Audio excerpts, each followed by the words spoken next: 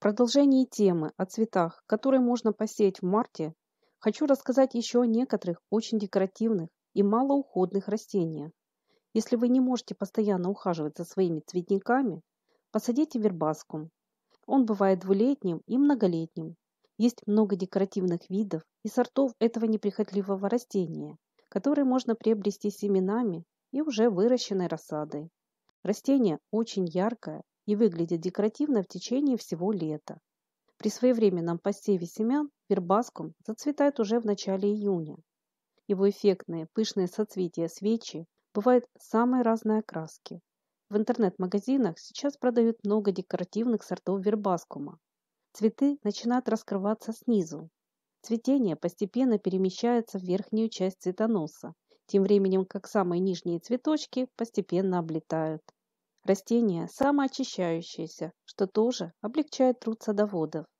Увядшие цветы опадают самостоятельно и не портят общий вид цветника.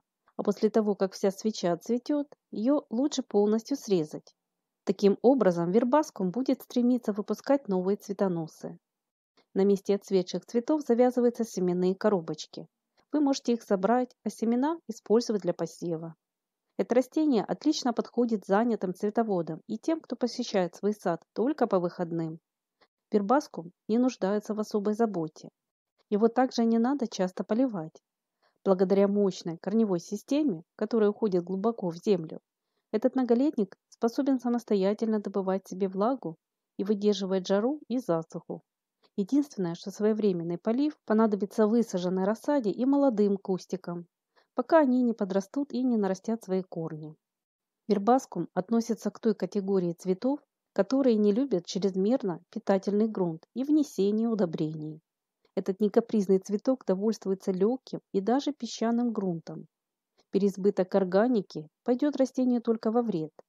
На удобренной земле кустик станет наращивать свою пышную зелень, а вот цветоносов будет мало. Ни в коем случае нельзя высаживать вербаскум в перегной. Растение, скорее всего, со временем погибнет. Он также не любит тяжелую глинистую почву.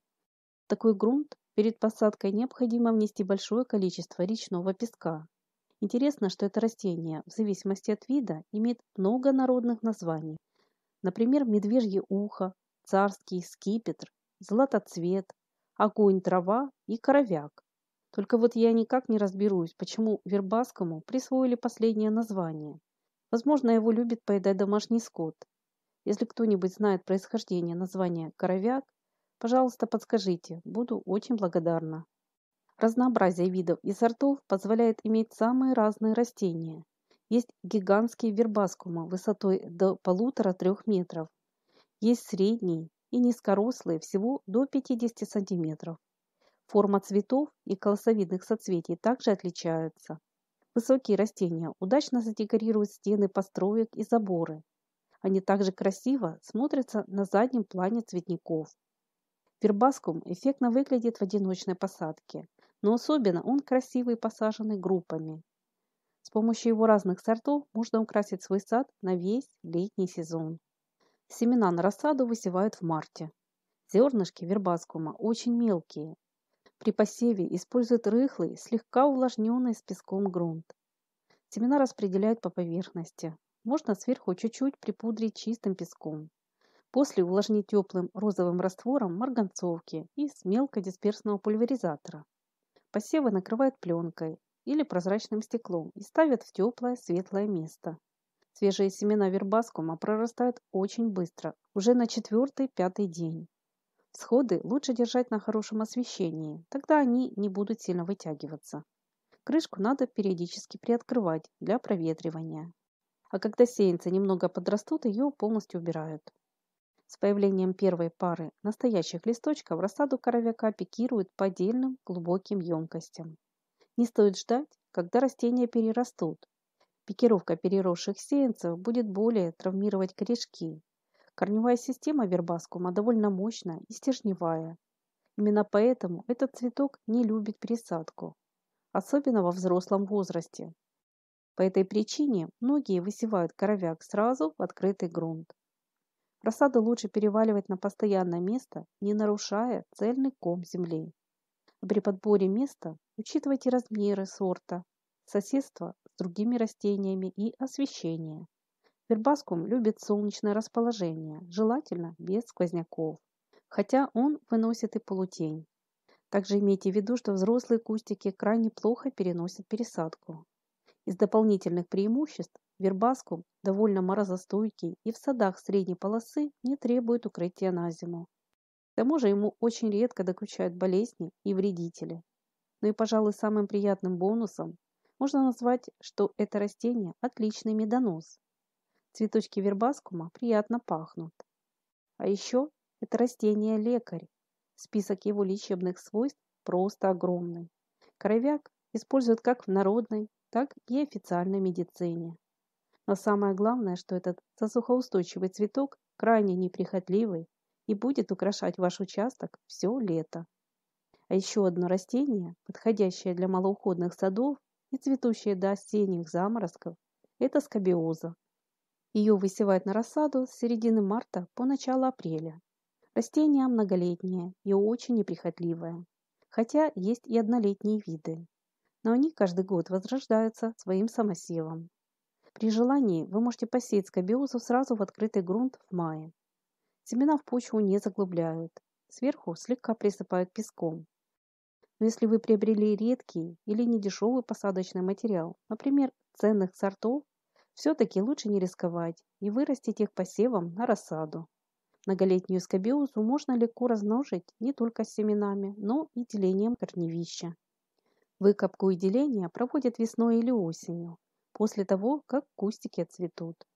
Существуют разные виды и сорта этого изящного цветка высотой от 25 до 90 см. Также есть махровые формы цветов. Окраска всевозможная. Скобиоза, так же как и вербаскум, предпочитает солнечное расположение, выносит полутень, жару и засуху. Но она любит более питательную землю. Если вы замульчируете кустики перепревшим компостом, они отблагодарят вас обильным и долгим цветением. Отцветшие цветоносы лучше удалять. Тогда скобиоза будет радовать вас своими цветами до самых холодов. Осенью надземную часть можно срезать, в холодных садах вместо посадки мульчируют толстым слоем опавшей листвы или накрывают лапником. Скобиоза отлично подходит для малоуходных, смешанных цветников в природном стиле. Ее цветы не столь крупные, но их ажурный вид очень украшает сад.